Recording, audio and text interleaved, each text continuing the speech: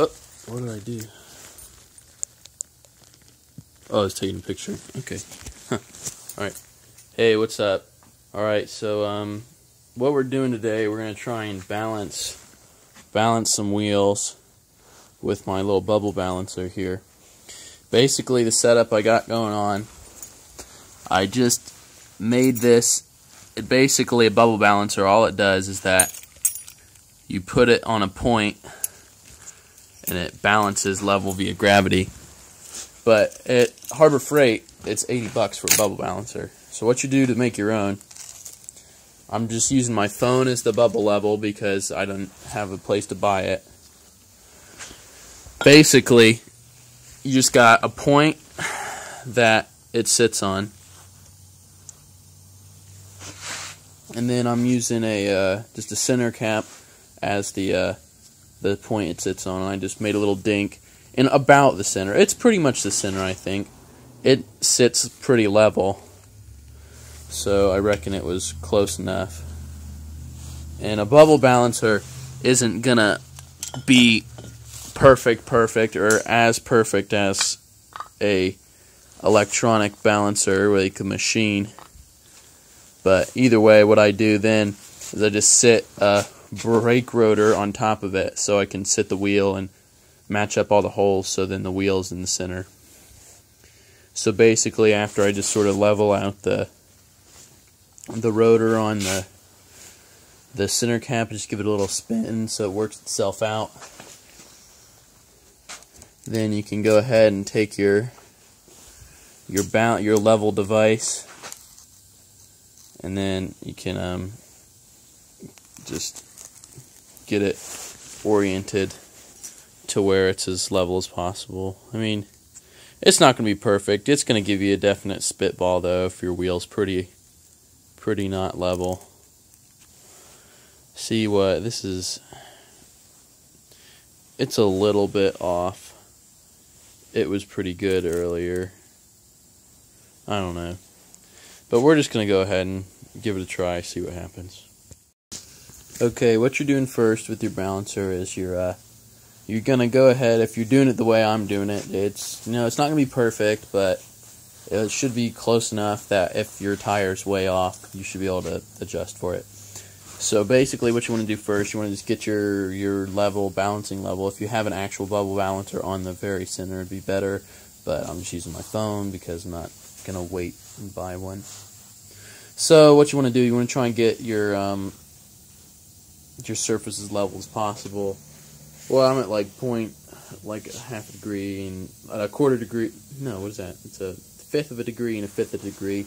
I just got my weights around the edge so it's sort of balanced. So then when I can set the wheel down on top, it will be generally correctly level. So let's go ahead and put the wheel on. Alright, once you do, you get your wheel on, make sure all the holes are lined up about as good as you're going to get them. If you had an actual hub to be a center instead of a rotor, you could put the bolts in and screw them in and it would be centered, but I think I reckon it's close enough here. Okay, so I gotta find my level. I have misplaced it. Um. Oh crap. Oh, it's in my pocket. I am dumb.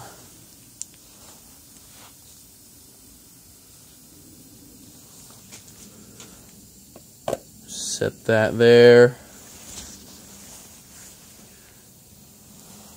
Alrighty then. And it says we are about. Look, it says we're about three degrees off in this direction. And you can just look at the bubble and you can see it's off a little bit. So we're to go ahead and just take some weights and I reckon just put them on where the bubble's pointing, see what happens. See, we need about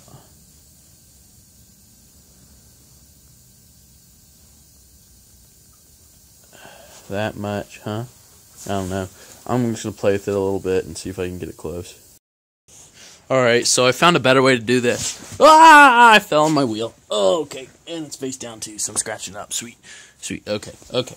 So what what I got going on now is I decided that how I was doing it earlier wasn't level enough, wasn't flat enough. So what I'm doing, I found this. Um, it's like an exhaust hanger off of Volkswagen, and I got this old top hat to fit perfectly in the center of the the center cap. Well, I just wrapped some duct tape, um, electrical tape around it. Then this top hat right here will go on this um, this part, the the exhaust hanger nipple, and then that will be the pivot point. I'll put a little grease on it. But then we're just gonna push this onto this electrical tape. What it's like a quarter. It's a little too big, but with the electrical tape it'll be fine. So we'll go ahead and put it on and see what it looks like. Okay, so I got my system worked out. Like I said, like we got our got the little um, exhaust hanger thing. Then you got your uh, uh, uh, uh, you got the uh, top hat with electrical tape, so it's in the center. Exhaust hanger, little tip is there. I get my phone, put in there. It's the level. Whoops, wrong one. There we go. Then you just go ahead and you give it a spin. Now, doing this, you're not going to get it 100% centered. It's not going to be 100% perfect, but if your wheel is way off, you're going to get it get it sort of close to where it needs to be. Same thing goes with if you aren't like DIYing this. If you actually go have a bubble balancer, it's going to be off a little bit. This one looks like it's uh, the bubble up there. So basically, when all you got to do is put weight on the bubble, then it'll it'll even out. And then this mine has a little more friction than is it should have, so I got to spin it every time to get a get a result back. And what you do is you spin it like three times, see the general trend of where the bubble's gone.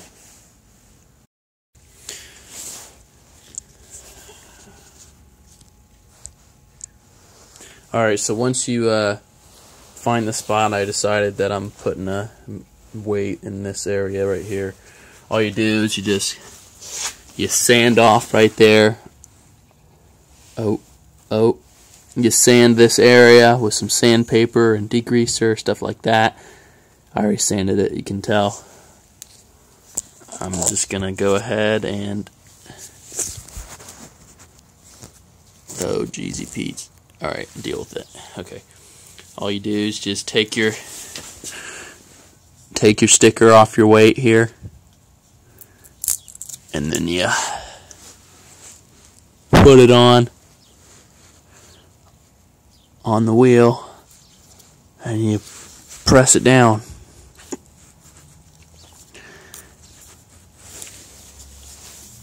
Okay, here we go. And we'll see how it goes. Alright, we're just testing that weight we put on.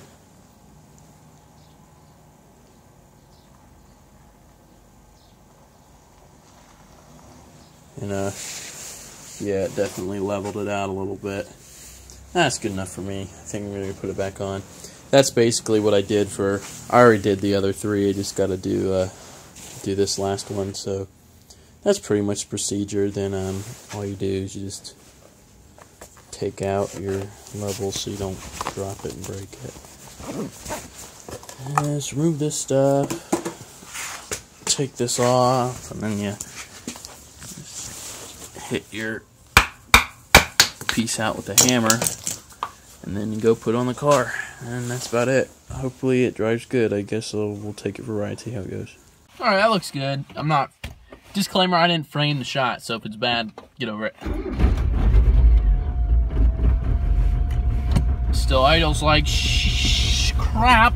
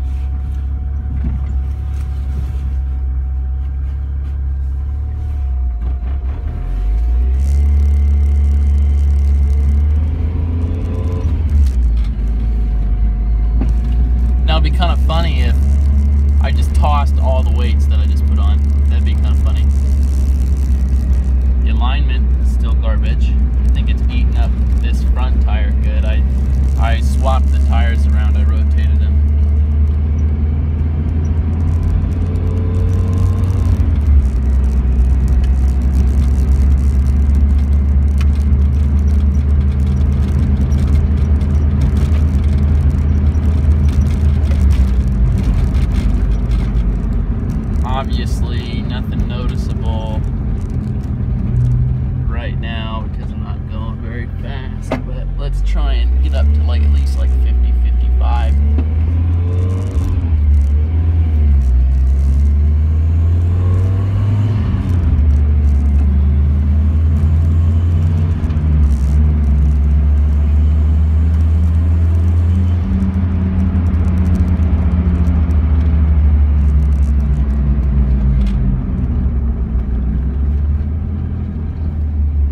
Huh. Again, I don't, maybe I just want it to feel better. Alright, here's gonna be our chance. Whoops.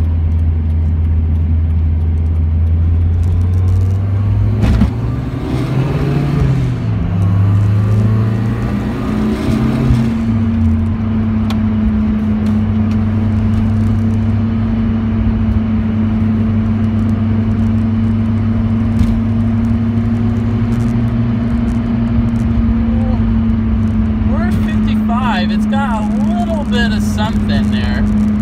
But no, now we're down to 50. It's not really fair. Hmm. I don't really want to go get on the highway. I suppose that'd be the only good way. I'll try and turn over here and see if there's not any open enough road. Oh, oh, oh, oh. Almost died on me.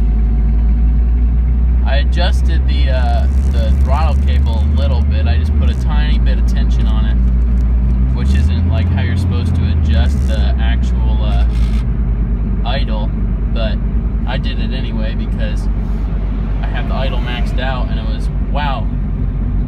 Should I really worry about cops when one just one just went to go get somebody? It looks like holy crap. I don't know if you no, you probably couldn't see him coming behind me, but that was kind of bad.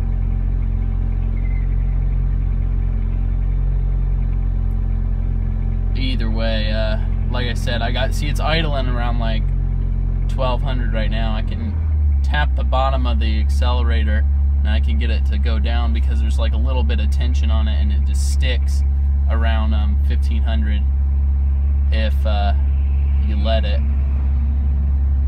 I'd rather it stick around 1500 than die, which is what it was doing. And when you just finesse it a little bit, you can actually sit here. It's sitting around seven, eight hundred. So I didn't actually like fix the actual problem. Like it could be vacuum leak, could be something with the stock um, fuel pressure regulator, because I'm running an FMU. So that's um, it could have busted the stock one on what the Mazda Protege original. And we're off.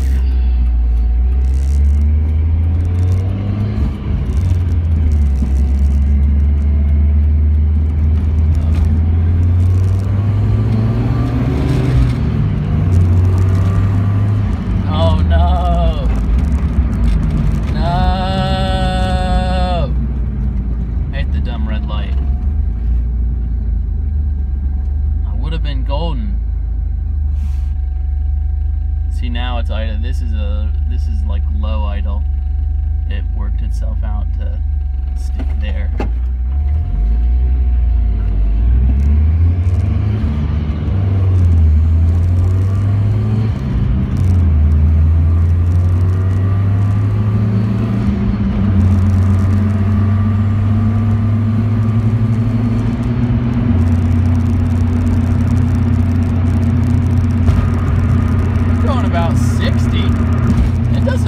feels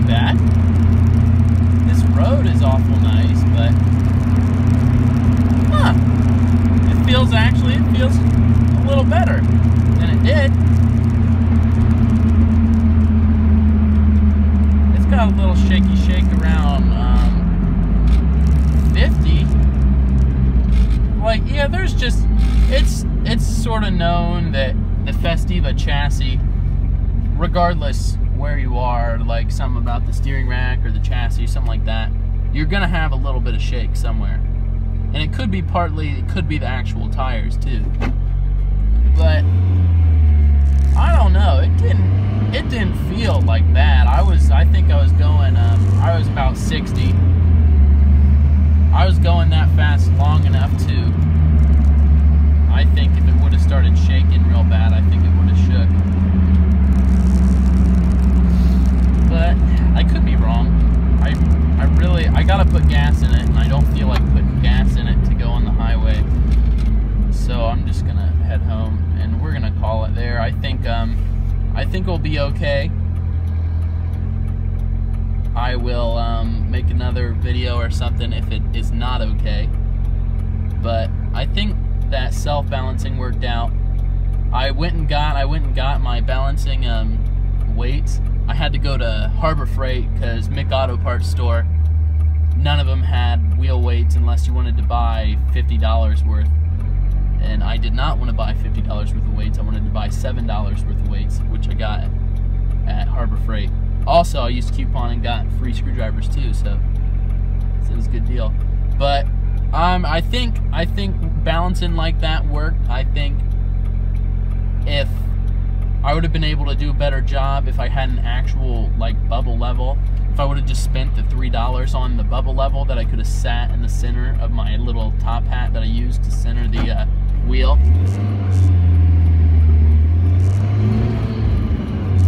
But I mean, other than that, I think it worked out pretty well. So, uh,